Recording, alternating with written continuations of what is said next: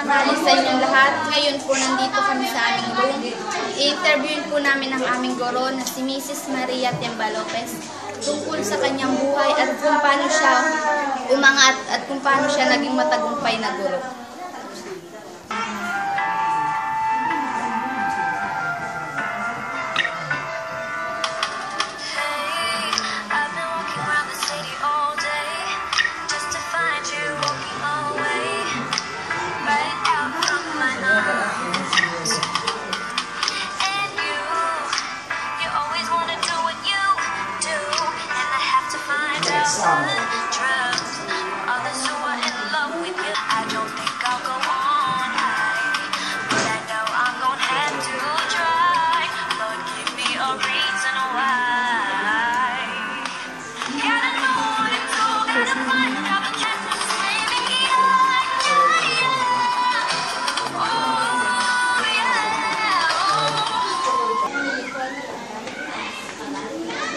Kasama ka dapat, Debbie.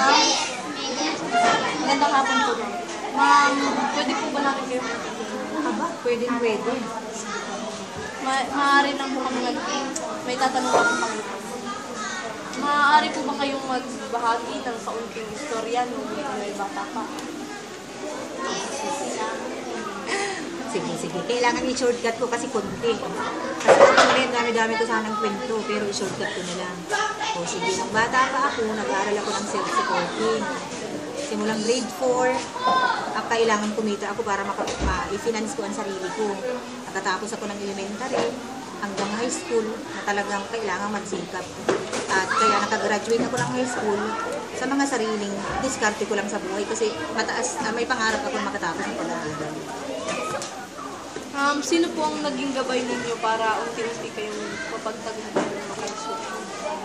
sa totoo lang, honest kasi akong tao, ano, kung, kung sa tanong yung gumabay, siguro na ando naman ang magulang ko, kaya lang, kasi ang mga, ang mga magulang nun ay walang hilig magpaaral ng anak. Lagi nilang sinasabi sa akin na kung gusto kong makatapos, gumawa ako ng sarili kong paraan. Siguro ang naging gabay ko ay yung determinasyon ko at yung tatag na ako ay makapagtapos. Sino po ang pinapasalamatan ninyo ngayon na kayo na po ay isang isang guro na saludo po kami sa inyo. Naku, ang pinapasalamatan ko lang ay ang mga kabigo ang na-encounter ko. Saka yung sobrang hirap kasi nagdahil sa kanila, lumakas ang loob ko. Kaya nagpapasalamat ako sa lahat ng kahirapan ng buhay namin noon. Nagpapasalamat ako sa mga taong nag-down sa akin kasi nung, nung estudyante ako, ako ang pinapakawawa sa. Kaya yun ang pinapasalamatan ko. Kaya ako naging determinado at matatag. Kaya pinilit ko makapagtapos ng pag-aaral. Um, yung isang way isang way po na paano niyo po nilampasan yung pansyo. nilampasan si ang isang way ko lang alam niyo kung anong ginagawa ko nung pag pag, ak- pag ako ay down na down at pag talagang hindi ko na alam ang gagawin ko isa lang kumukuha lang ako ng ng papel at ballpen sinusulat ko lahat ah, ng ng sama ng loob ko lahat ng mga pangarap ko at doon lang nakasulat kasi nung mga panahon namin bawal makipagkaibigan ayaw ni nanay na may kaibigan kami. So, ang kaibigan ko ay ang papel at ballpen. Yung lahat nakasulat at hanggang sa ngayon, ay ito nga, ah, ito yung life story ko, pinabasa ko ito kay Gideon nung isang araw. Lumang-luma na yan. Ano, yun, kaya yun lang. Um, tapos ma'am, ano po masasabi niyo po na sa mga kabataan ngayon na na namulat rin sa kahirapan? Ano po masasabi niyo? Ako, masasabi ko ay ang kahirapan hindi natin maiiwasan. At isang challenge ito. Kasi kung hindi ako naging matatag sa sobrang kahirapan, naiis ang uniforme ko, punit na, sapatos ko, butas na. Kahirapan ang nagtulak sa akin para makapagtapos ako. Kaya ang masasabi ko sa kanila, ah, gawin yung sandata ang kahirapan para makapagtapos kayo. Maraming maraming salamat po ma'am. You're welcome. Sa guro natin si Ngayon naman ay tunghayan natin ang interview ng mag-aaral na si Gideon Bron sa istorya na nakanyang nabasa ayon sa buhay ni Ma'am Timba Lopez. Eto siya ngayon at nandito kami sa background ng aming paaralan na napakaganda at napakahangin. okay. So, Mr. Gideon Bron, ano po ang masasabi ninyo tungkol sa nabasa ninyo sa istorya na ma'am, ni Ma'am Tess Balopes? Ay, yung ano, ah, yung nabasa ko dun sa kwento ni ma'am na ang pamagat niya kasi ano, the past kasi yung mga nakaraan niya.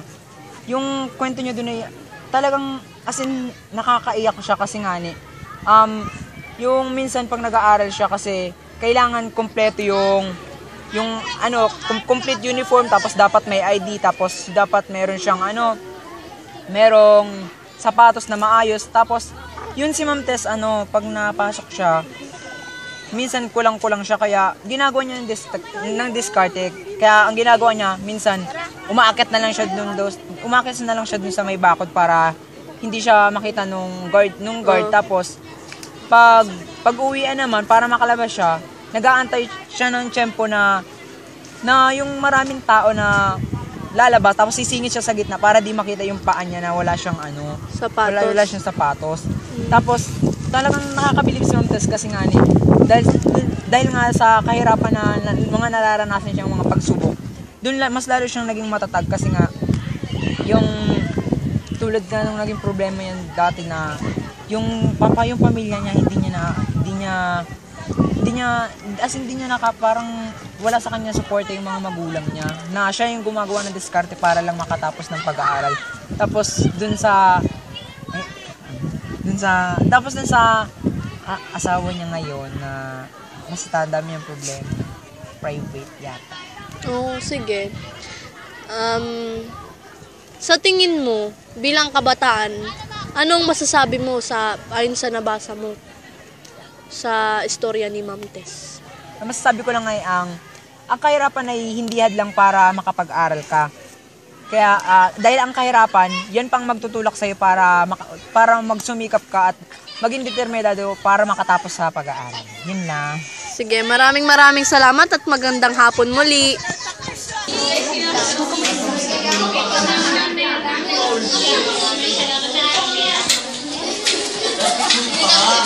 Ang kahirapan ay hindi hadlang sa pag-unlad.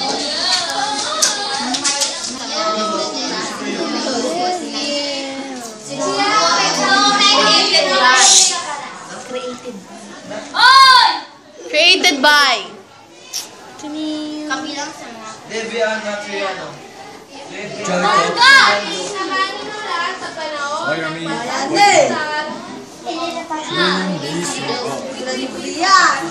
Yes! Use